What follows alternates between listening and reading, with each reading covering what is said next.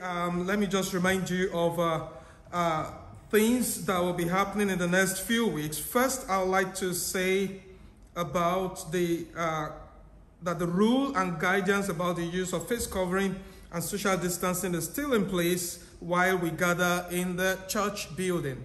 And also, can I remind you about the Coffee on the Lawn, an event, an outreach family event, uh, which is uh, intended to bring people together. I want you to invite your friends.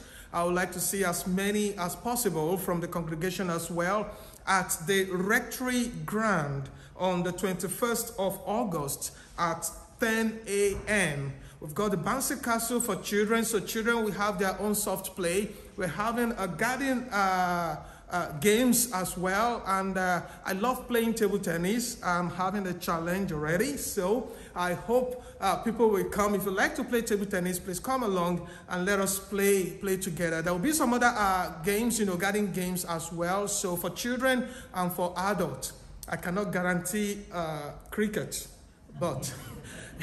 if you know how to play cricket, I was at the cricket, cricket grand uh, last week uh, for the first time here in Waringstown. So bring your kids along as long as you don't break the rectory windows.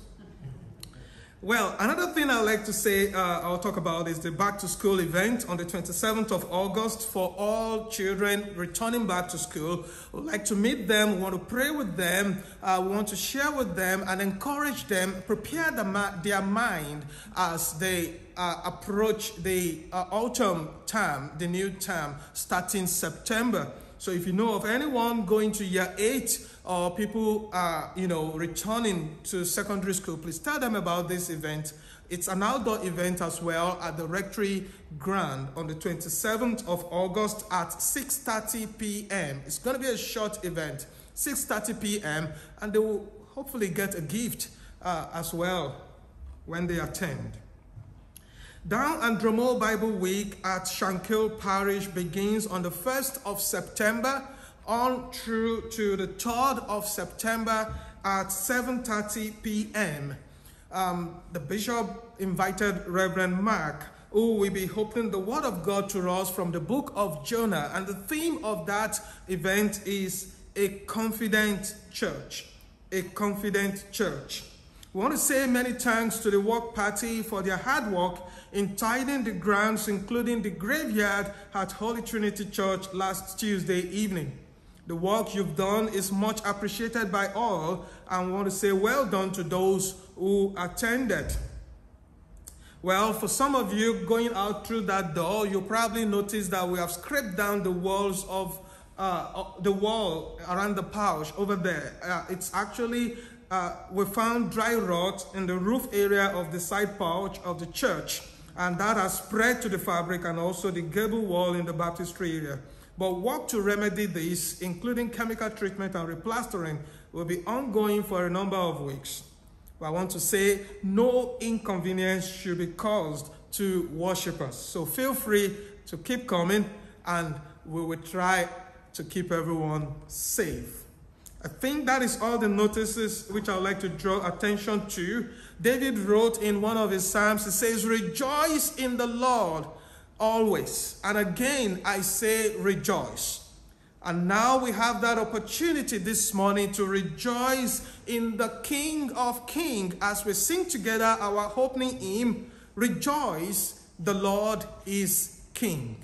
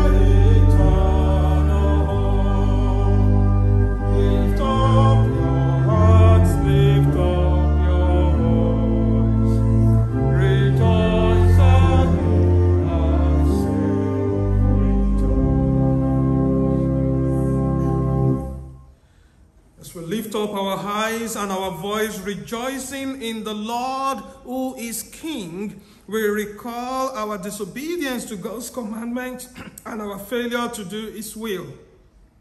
Therefore, let us kneel and confess our sins to God, our Father, using the words of confession which you'll find at the front of your service sheet. Please let us pray.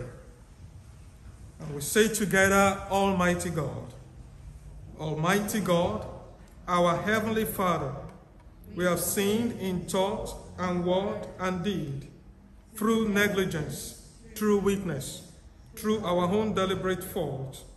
We are truly sorry and repent of all our sins for the sake of your Son, Jesus Christ, who died for us. Forgive us all that is past and grant that we may serve you in newness of life to the glory of your name. Amen. Here are words of assurance of God's forgiveness, which we find, um, which we found in the scripture. God is slow to anger and full of compassion. He forgives all who humbly repent and trust in his Son as Savior and Lord. There is therefore now no condemnation for those who are in Christ Jesus. Amen. Amen. Now we come to the, uh, the kids' praise. I'm glad that we've got the computer uh, working and uh, we can have our kids' praise that talks about the peace, the joy, the love of God which is in us. And we've got it in abundance. And for all these things, we are thankful. So, children, I want you to buckle up, be ready, because this is going to be very, very fast. And I want you to do the actions and let's sing about the peace of God, which we've got like a river. Like a river, the one you saw when you went on your summer holiday, the ocean that you saw uh, when you went on summer holiday. Let's stand and sing that song together. I've got peace like a river.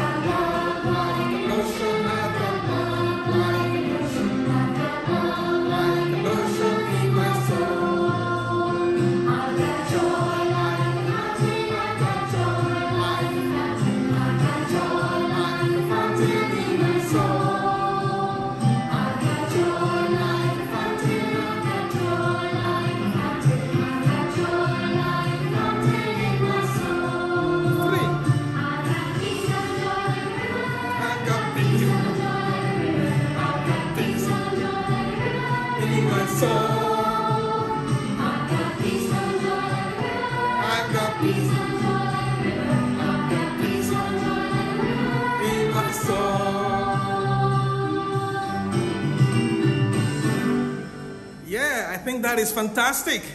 Now, I'm not sure if I was able to get that very fast peace, love, joy, like a river in my soul. Please let us be seated.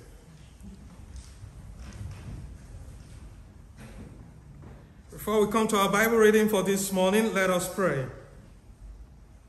Heavenly Father, we pray that you give us understanding of your word and the will to put it into practice. Give blessing to the reading of your word, for in Christ's name we pray. Amen.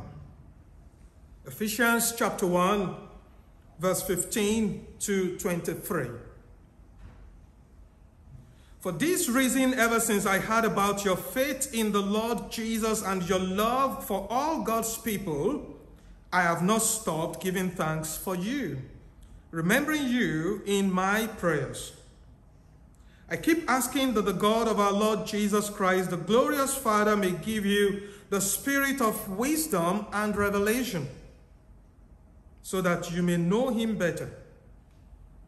I pray that the eyes of your heart may be enlightened, in order that you may know the hope to which he has called you, the riches of his glorious inheritance in his holy people, and his incomparably great power for us who believe. That power is the same as the mighty strength he exerted when he raised Christ from the dead and seated him at his right hand in the heavenly realms, far above all rule and authority, power and dominion, and every name that is invoked, not only in the present age, but also in the one to come. And God placed all things under his feet and appointed him to be head over everything for the church, which is his body, the fullness of him who fills everything in every way. This is the word of the Lord. Thanks be to God. Please let us stand as we affirm our faith using the words of the Apostles' Creed. I believe in God. I believe in God, the Father Almighty, creator of heaven and earth.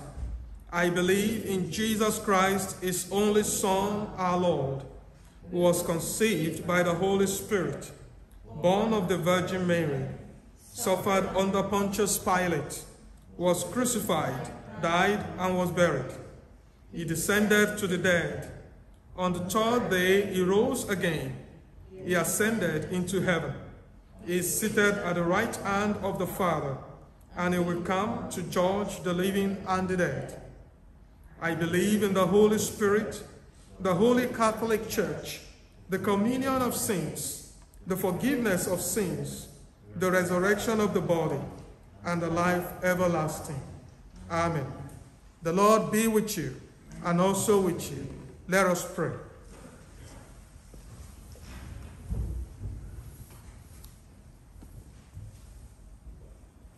The college for the 10th Sunday after Trinity.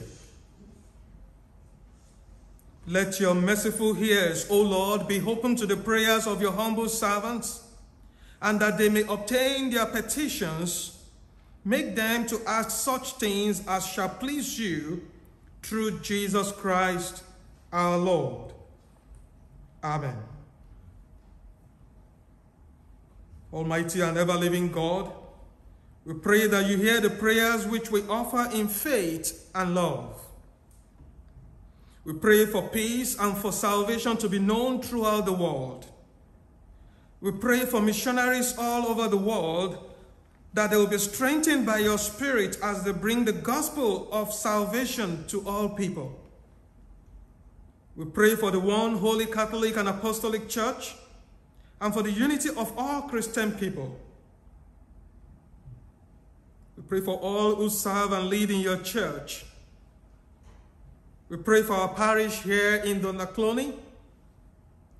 And we remember the parochial nominators in our prayer as they carry out their enormous task of finding and seeking a new rector in our parish. We pray that you will guide them, O Lord, by your Spirit and we pray that you will give them the spirit of wisdom and revelation, just as we will learn in your word today. We pray for our diocese of Down and Dromore, for Bishop David, for all presbyters and deacons. We pray for all your people growing in the faith of Christ and passing it on to generations yet to come. We pray for parish members here in Donaghcloney. We give you thanks for their faithfulness and trust in Christ. We pray that we will grow more in our faith in Jesus and in our love towards one another. We pray that you will open our spiritual eyes to see the hope of an inheritance which we have in Christ. Lord, we pray for all who live and work in this community of Waringstown and Donaghcloney.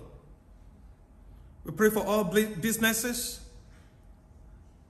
And we pray for all the farmers We pray for the health services. We pray for the police and all other people that work to keep us safe. We pray for families and for those who live alone. Lord God, we pray that there will no more of your abiding presence and love. Especially, Lord, we pray for those who are lonely and are elderly. We pray for those who are housebound. Let them know more of your abiding presence, O Lord. And let them feel the warmth of your love always with them. We pray for all who are sick in body or in mind and for those who care for them. Especially in our prayer, we pray for Stanley. We pray for Tommy. And we pray for June. For all in authority, we pray for those who have the responsibility of government. We pray for the executive that meets at Stormont and the ones that meet at Westminster. Guide them, O Lord, by your Spirit in their decision making. Pray that your Spirit will guide them so that they will be able to rule us in just and righteousness.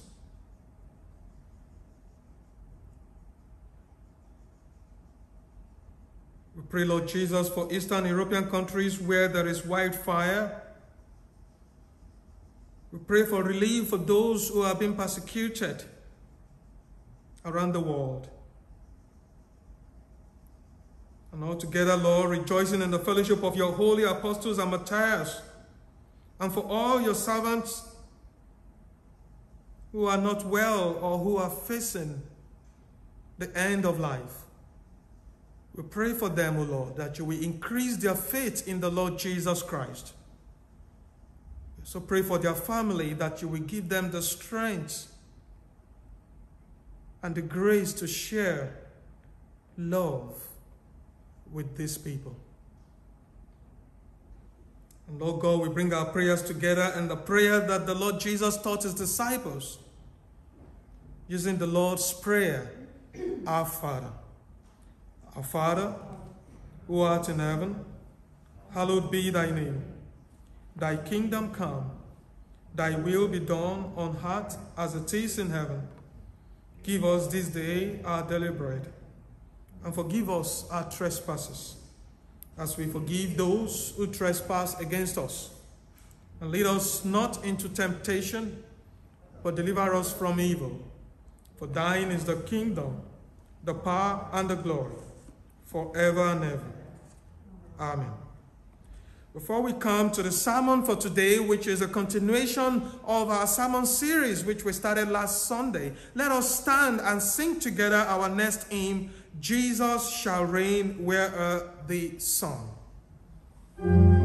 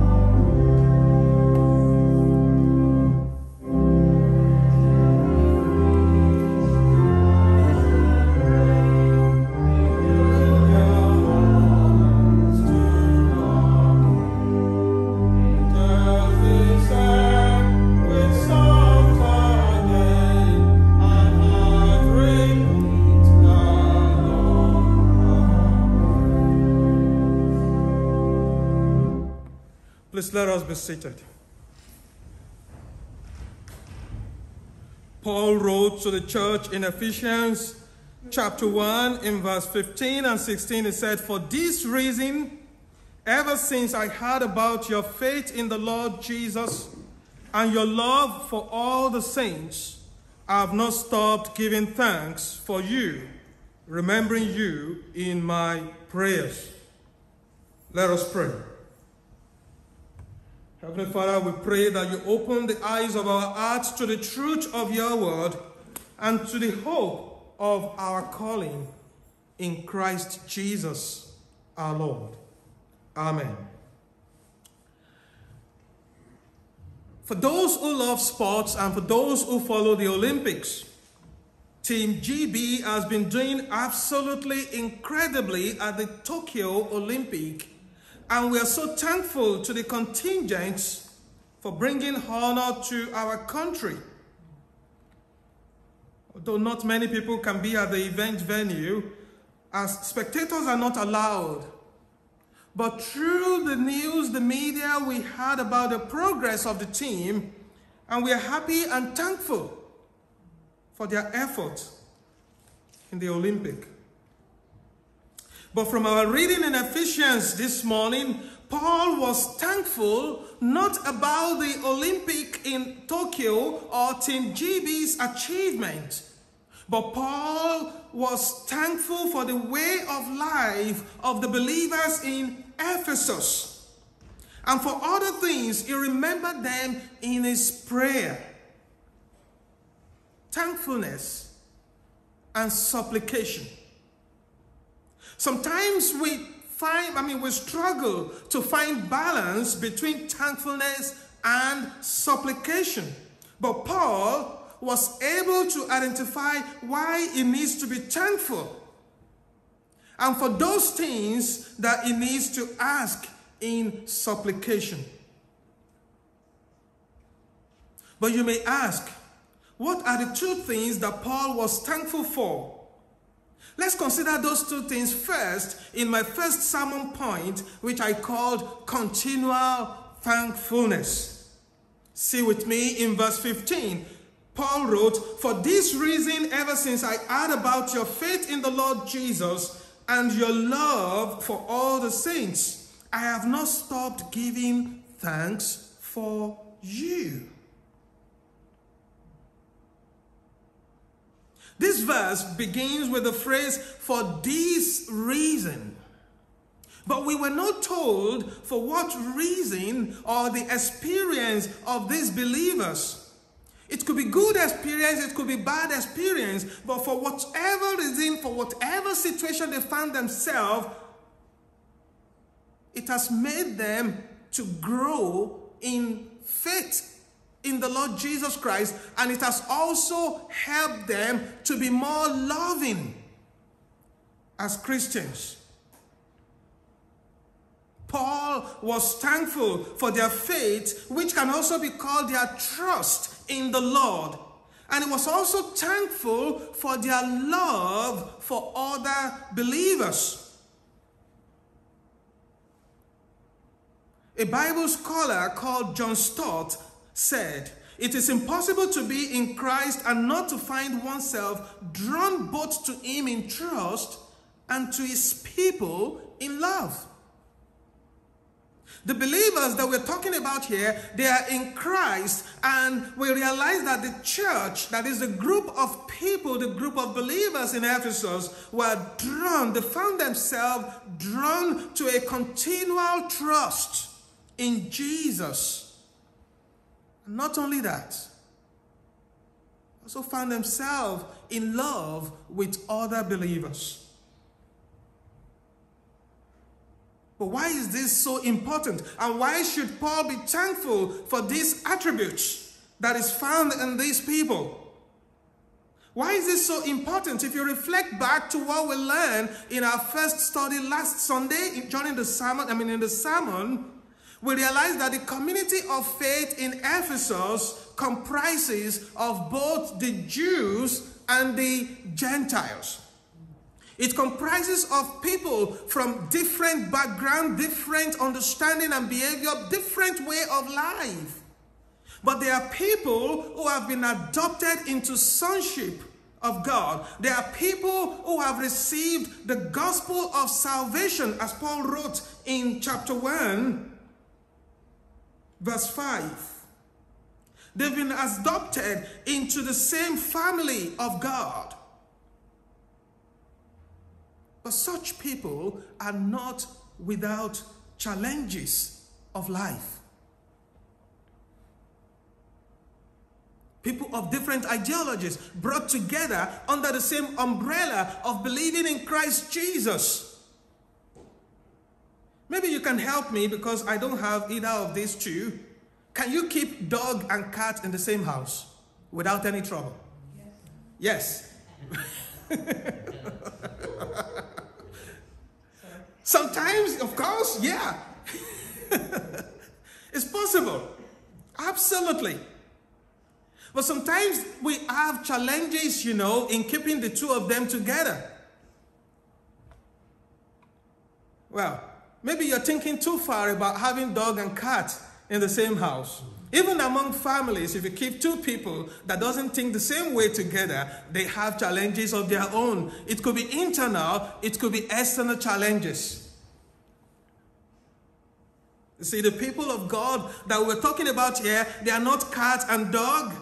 But they are people of different ideologies united together in faith. Faith in the Lord Jesus Christ. Such people have their own challenges. And I believe that challenges, I mean, challenges are real life challenges. Like I said, it could be internal challenges, which could be issue of coexistence. They might be facing issues of discrimination and prejudice just as we might experience in our world today. Although these Christians are made up of people of different tribe and culture, but they are united in God and faith in Christ. Apart from the internal challenges that these people might be facing, they might also be facing external challenges like persecution as they stand up for Christ in the community. But one good thing is this. One good thing is that the persecution and challenges of life that these people faced actually help them to grow in their faith in the Lord Jesus, as we see in verse 15. For this reason, reason which we did not know, but we believe the reason or whatever situation they have faced, whether good or bad, has helped their faith to grow in the Lord Jesus and also their love for all the saints. Verse 15. Same should go with, I mean, for us as children of God today. The persecution and challenges of life which we face for belonging to God should increase our faith in Christ and our love for one another.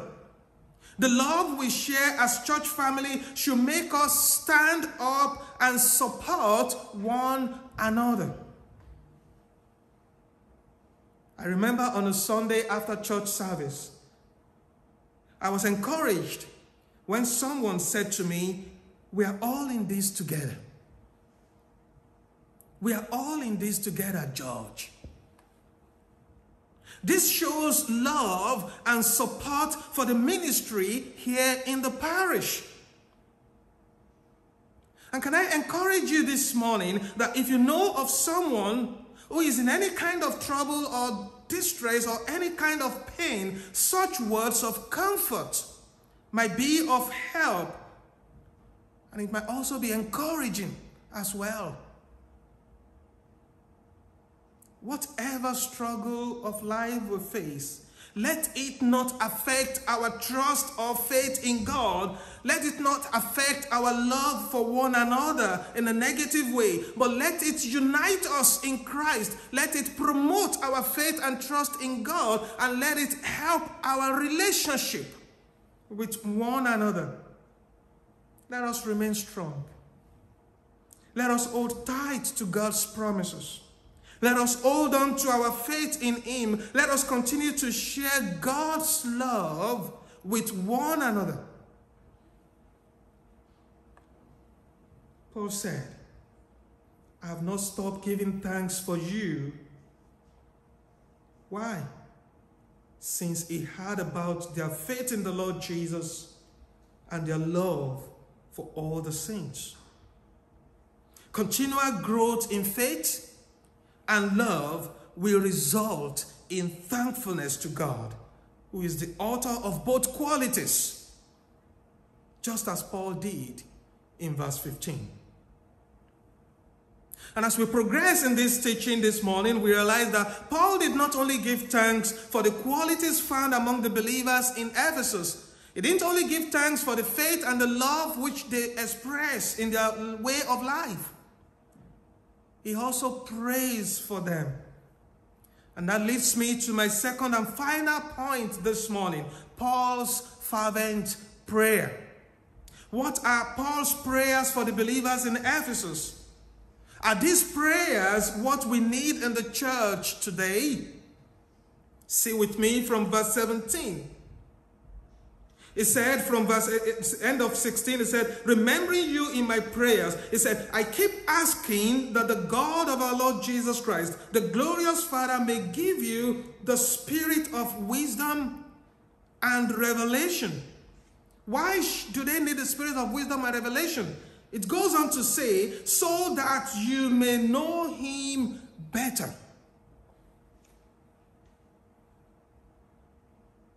The fact is that these believers already know God. That is why they are able to increase in faith and trust in God. But there is no ending about the knowledge of God. And that is why Paul prays for them. He prays that they will know more of God. He wasn't praying for them to come to new faith in Christ. No. But he was praying for something that is more important. He was praying for their eyes to be opened to certain things about God. To know God, you need your spiritual eyes to be open to certain things about God, which will further strengthen their faith and their love for one another. But what are those things that we need to know more about God? What are those things that we need, that needs to be revealed to us about God?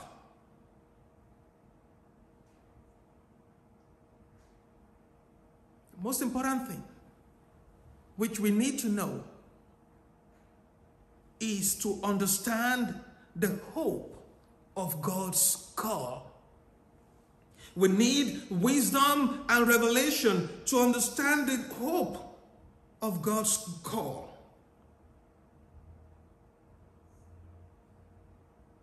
Paul says it can only be gained by the opening of spiritual eyes, the opening of our spiritual eyes to God's call to us to belong to Jesus Christ and into the fellowship of Jesus Christ. We talk about God's call. Paul said in verse 17, he says, I keep asking that the God of our Lord Jesus Christ, the glorious Father, may give you the spirit of wisdom and revelation. Yeah, you're asking for wisdom and revelation to do what? To know the hope to which He has called you. He prays for our spiritual eyes to be enlightened, to be opened, that we may know the hope to which He has called us and the riches of His glorious inheritance in the saints. You may ask, George, what is God's call? What is the hope of God's call that Paul was talking about here? It is not called to ordained ministry,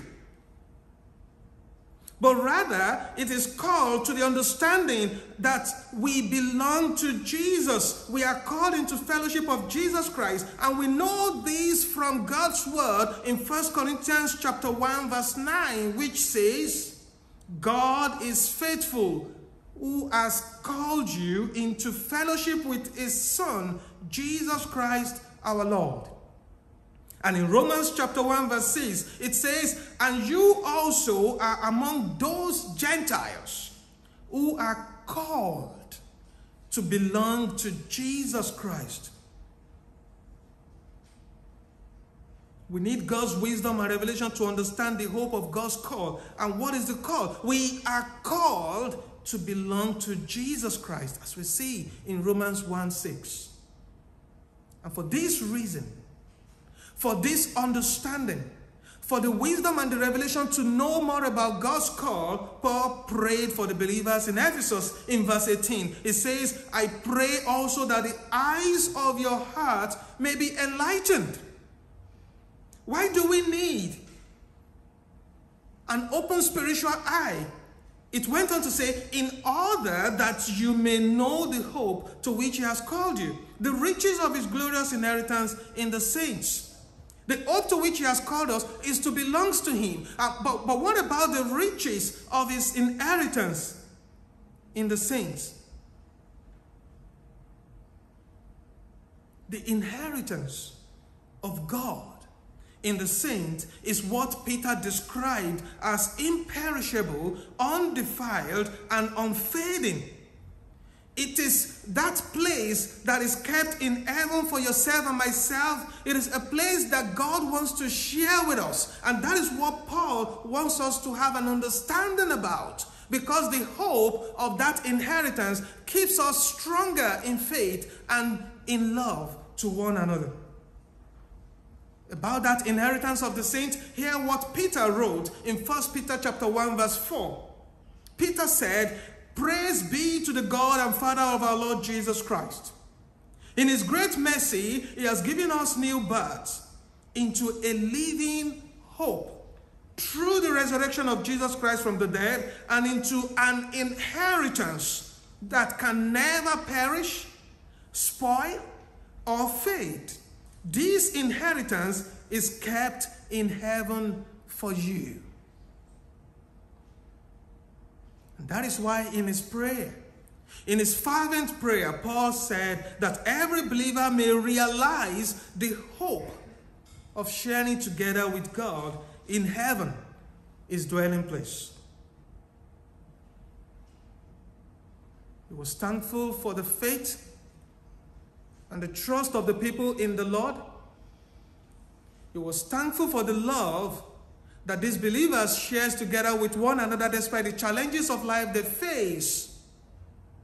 And he prayed for their spiritual eyes to be opened to the hope that we have, the hope of God's call, the call to belong to Jesus, and also to the riches of his inheritance in the saints which is heaven, the dwelling place of God that He wants to share with us, a place that is imperishable, a place that never spoils, a place that never fades.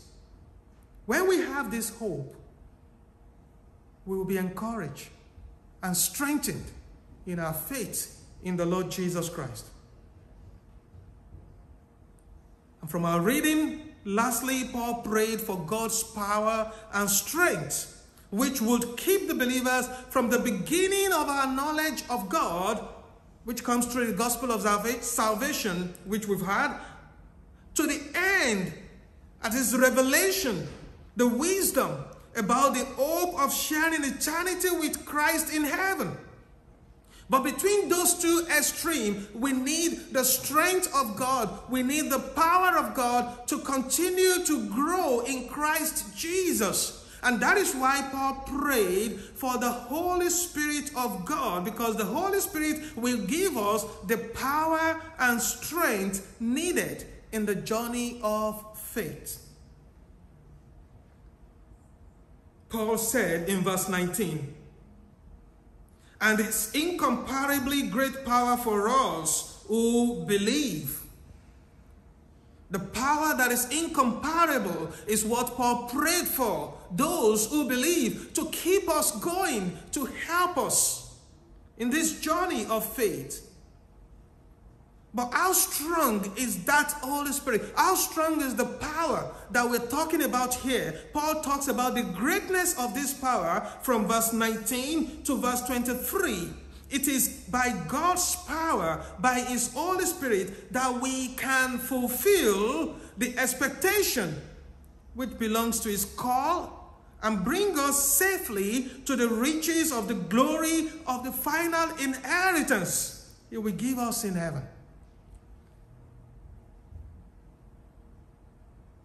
It's not by power, not human power, not human strength, but it's by the Holy Spirit of God that we can sail safe to the shores of heaven. And the Bible assures us this morning that God's power is sufficient for us as Christians. We see the evidence of the sufficiency of God's Holy Spirit in us as Paul illustrates in verse 20. It talked about the same power that works in the resurrection of Jesus, the power that raised Jesus up from the dead, the power that placed him above all powers and principalities. It is that same power, the same power with the same potency that God will deposit in those who believes in him. It is that power that seals us to the end of the age. It is that power that helps us to keep going, to keep going. Despite the challenges of life, it equips us in the journey of faith. And Paul concludes in verse 23 that the resurrection of Jesus from the dead and his enthronement over powers of evil has given him the headship over the church. So as we journey to heaven, we come to realize that Jesus is the head of the church, and the church is the group of believers, people who are called to belong to Christ.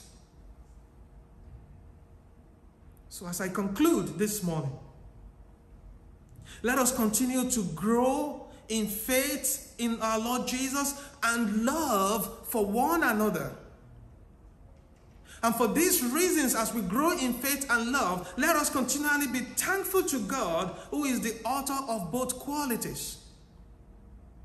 Let us continually pray that the Lord will open our spiritual eyes to the hope of belonging to Him, which is God's call upon us, and also of sharing with Him in the inheritance of the saints, which is heaven a place that is prepared for the saints in Christ, the holy, those people who are blameless in Christ Jesus.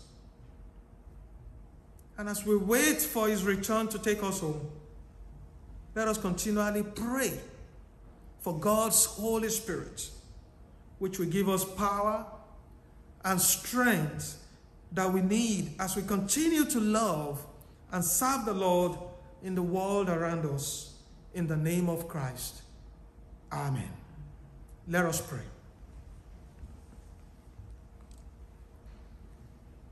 Lord, we thank you for our faith in Christ Jesus and for the love we share together as church family here in Donaghcloney. We pray that this may increase by your grace. We pray for your Holy Spirit to help us in our journey of faith.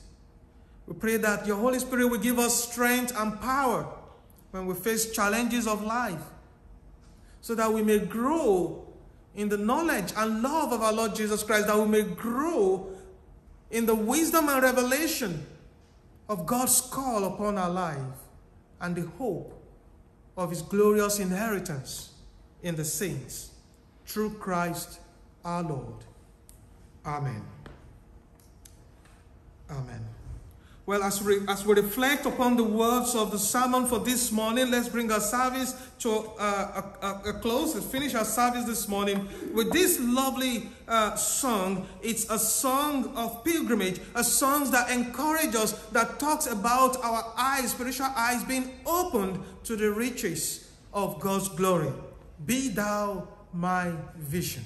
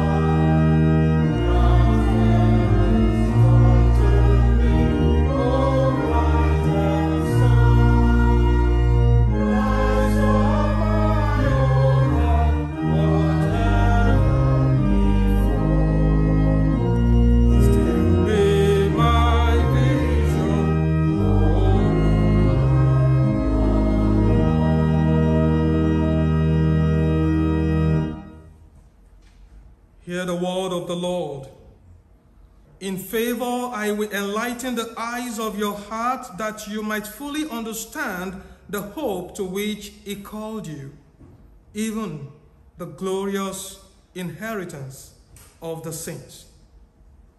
May the blessing of God Almighty, the Father, Son, and Holy Spirit be with us all evermore. Amen. Thank you so much for coming. Hope to see you all next week, and I wish you a pleasant week ahead. God bless.